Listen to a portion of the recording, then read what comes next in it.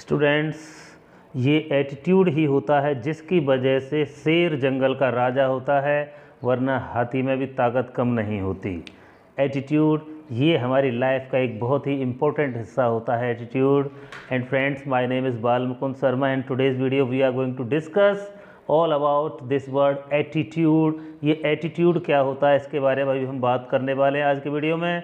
Video शुरू करने से पहले चैनल को प्लीज़ सब्सक्राइब कर लें आप। अब हम देखते हैं attitude A T T I T U D E attitude का मतलब होता है दृष्टिकोण। एटीट्यूड का मतलब होता है हमारा सोचने का नज़रिया।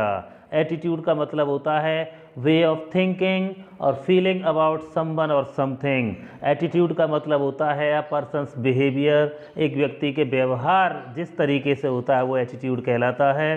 इस एटीट्यूड के बारे में हम जानते हैं तो हमारी जो पर्सनैलिटी होती है, हमारा व्यक्तित्व होता है, कैसा हम दृष्टिकोण रखते हैं, कैसा नज़रिया रखते हैं, वो सकारात्मक है, नकारात्मक है, यही दृष्टिकोण अंग्रेज़ी में एटीट्यूड कहलाता है। A double T I T U D E attitude use करते हैं हम।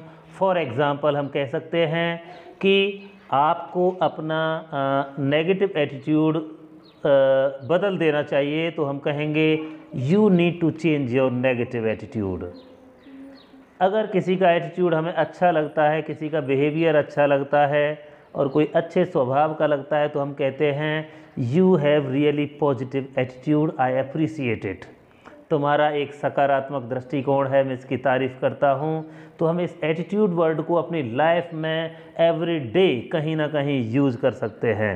तो दोस्तों, मेरे वीडियोज़ से आपको लगता है कि ये आपके फ़ायदे के हैं, मेरे वीडियोज़ आपको कहीं ना कहीं लाभ पहुँचा रहे हैं तो आप इसे लाइक और शेयर करें चैनल को सब्सक्राइब ज़रूर करें।